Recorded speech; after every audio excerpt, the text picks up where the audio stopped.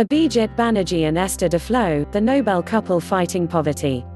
Banerjee and Duflo won the Nobel Prize for their work on alleviating global poverty. Millions of Indians remain vulnerable to income shocks. Banerjee grew up in Kolkata and co-authored his book, Poor Economics, with Duflo. For the past two decades, the world's most fated economist couple has tried to understand the lives of the poor, in all their complexity and richness. And how an inadequate understanding of poverty had blighted the battle against it.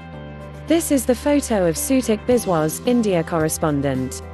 He has written this report for BBC News. All photos may not represent the story. Watch to learn English the way you've learned your mother tongue as this video is especially made. On Monday, Abhijit Banerjee aged 58 and Esther Duflo aged 46 won the Nobel Prize in Economics, along with economist Michael Kremer, for their experimental approach to alleviating global poverty. More than 700 million people live in extreme poverty, according to World Bank. Both Mr. Banerjee and Ms. Duflo are professors at the Massachusetts Institute of Technology, MIT. Ms. Duflo is the second woman to be awarded a Nobel in economics. The Indian-born Mr. Banerjee and Paris-born Ms. Grew up in completely different worlds. Esther Duflo was six when she read in a comic book on Mother Teresa that described Kolkata, formerly Calcutta, as overcrowded city where each resident lived on a 10 square feet space.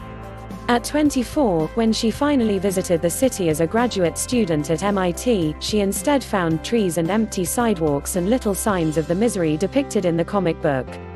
At six, Abhijit Banerjee knew exactly where the poor lived, little shanties behind his home in Kolkata. The children there seemed to have a lot of time to play and would beat him at any sport, leaving him jealous. This urge to reduce the poor to a set of cliches has been with us for as long as there has been poverty.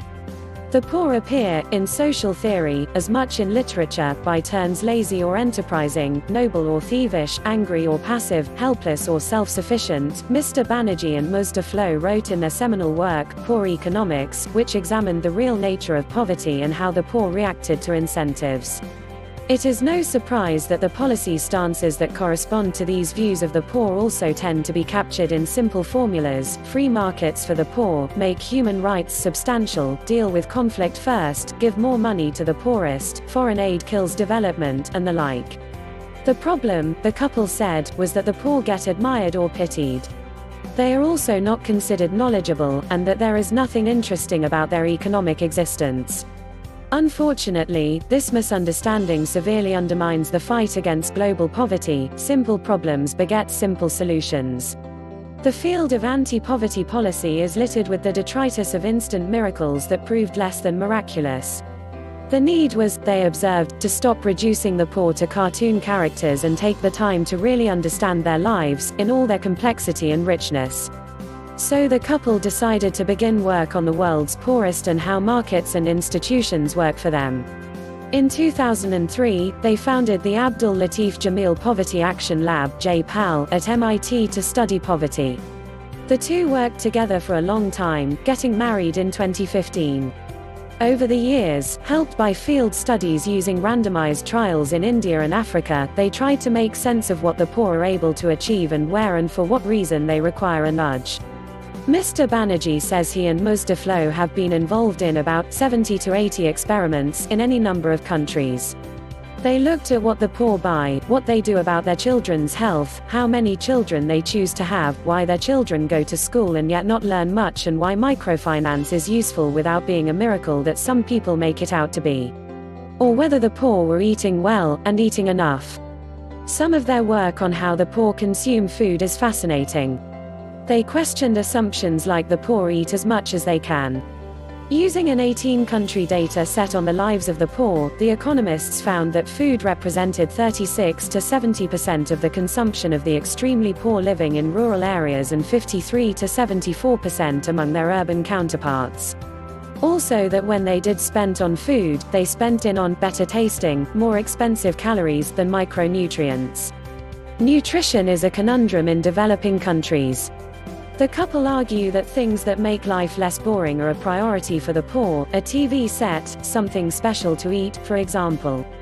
In a place in the northern Indian state of Rajasthan, where almost no one had TV, they found the extremely poor spent 14% of the budget on festivals. By contrast, in Nicaragua, where 56% of the poor households in villages had a radio and 21% owned a TV, very few households reported spending anything on festivals. Their work also suggested governments and international institutions need to completely rethink food policy. Providing more food grains which most food security programs do, would often not work and help little for the poor to eat better because the main problem was not calories, but other nutrients. It is probably not enough just to provide the poor with more money, and even rising incomes may not lead to better nutrition in the short run. As we saw in India, the poor do not eat any more or any better when their income goes up, there are too many pressures and desires competing with food, they observed. One of their more interesting experiments was trying to understand the poor learning outcomes of children in schools in the developing world. We ran experiments where you change a bunch of inputs, like changing the way the teaching happens or change the books or change the timing. And it turns out that what's really critical is that the kids should have some time when they can catch up with the material they have missed, something that is excluded from most school systems in the developing world.